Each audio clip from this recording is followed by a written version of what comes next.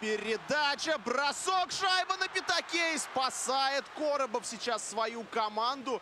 Здравствуйте, друзья! Добро пожаловать в Челябинск! Перед вами Трактор-Арена, и это матч Трактор-Динамо Минск. Вместе с вами за его ходом наблюдаю я, комментатор Олег Морозов, и, вы знаете, это должна быть очень интересная игра. Тимофейков Гореня, 69-й, а также опытнейший защитник Дмитрий Коробов, номер 89-й. Главный тренер команды из столицы Беларуси Дмитрий Квартальнов.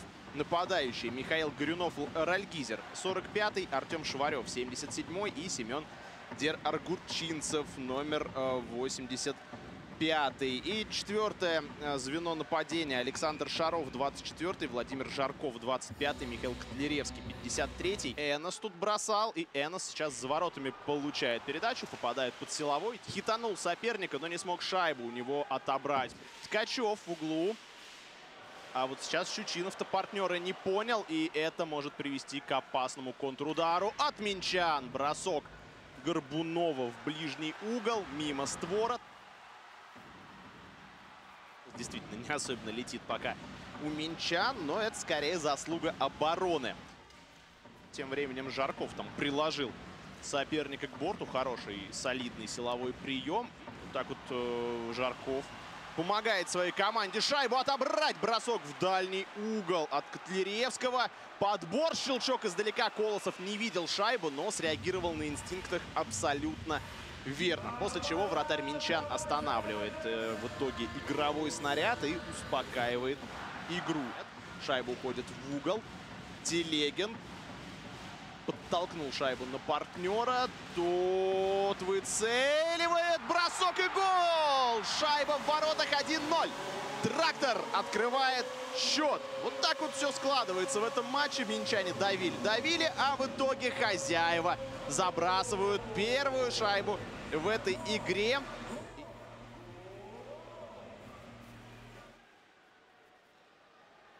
Контратака Минчан, бросок низом, отскакивает шайба на пятак, добивание. И еще бы одно не помешало Минчанам, но шайба уходит куда-то ближе к борту. Три заброшенные шайбы на 20 попыток, это 15% реализации. Что касается меньшинства Минска, оно не очень надежное, но при этом результативное в контратаках. Но сейчас не об этом. Сейчас, конечно же, о шайбе Виктора Антипина, который на добивании с острого угла отправляет шайбу в ворота и забрасывает свою первую в этом сезоне.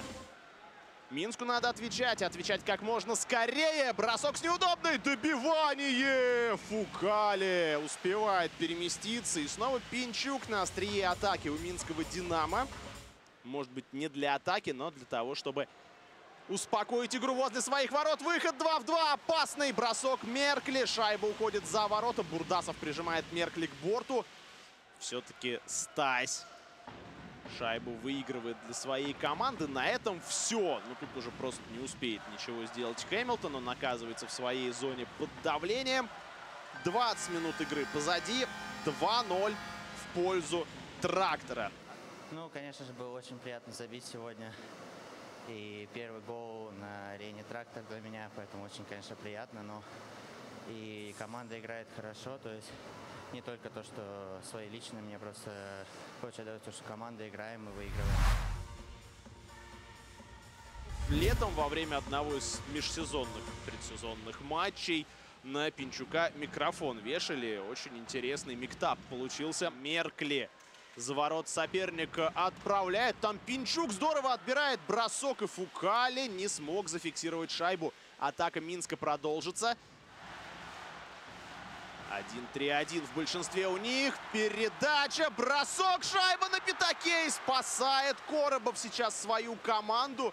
Хладнокровно сыграл Дмитрий и выбросил шайбу со своего пятака и из своей зоны. Единственный момент трактор создает в этом большинстве. И вообще пытается понять, а что соперник-то в меньшинстве там пытается нарисовать на площадке. Бросок, рикошет, Фукаля забирает шайбу до Фукали дошла шайба лишь раз. И та после рикошета. Ух ты. А вот Шаров. Давайте посмотрим за тем, как Александр в меньшинстве играл. Вокруг Мороза прокрутился. Немножко не здорово получилось. Отскакивает шайба к Хэмилтону. Шабанов с кистей заряжает. Очень близко было. Это предыдущий эпизод, когда шайба не дошла до Шабанова. А так продолжается добивание. Гол! 3-0. 3-0. Трактор выжимает максимум из достаточно неожиданного момента. И плюс 3 в пользу хозяев площадки.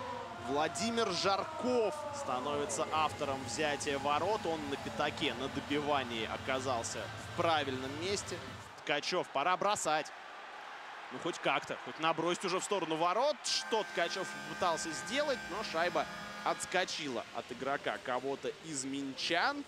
И прозвучала сирена. 3-0 после двух периодов. А, да, проиграем 3-0. Но надо как можно больше бросать, идти на ворота, напрягать оборону соперника. Только так мы можем вытащить эту игру. По силовым приемам по-прежнему минимальный перевес э, команды хозяев 9-7. Ну и в целом, наверное, из этой статистики можно сказать, что вроде бы игра равная. И просто как коршуны налетают здесь на соперника. Нападающие минской команды. Это позволяет им отобрать шайбу. Фукале. А, Фукале, э, прошу прощения, не зафиксировал. Хотя не сказать, что моментов мало. Моменты есть, и они даже неплохие. Ткачев контратакует. Бросок в ближний. Мимо ворот. Ткачева вроде бы на левом фланге поддерживал Тертышный, но вот на повторе, особенно с последнего ракурса, хорошо было видно, что на Тертышного не было никакой реальной возможности отдать обостряющую передачу, поэтому Ткачев бросил сам. Отправил в угол. В углу подбирают минчане. Пинчук тащит в чужую зону и бросает добивание гол. 3-1. Минск за 2 минуты 26 секунд до конца третьего периода одну шайбу отыгрывает. Сухаря у Фукали уже точно не будет. Но что будет дальше? Спасутся ли динамовцы? Или это лишь такой хлопок дверью напоследок? Керран. Передача на левый фланг. Дальше на пятак. Бросок от Стася. И на пятаке настоящий навал. Здорово действует сейчас Минчанин. Смотрим повтор. Керран.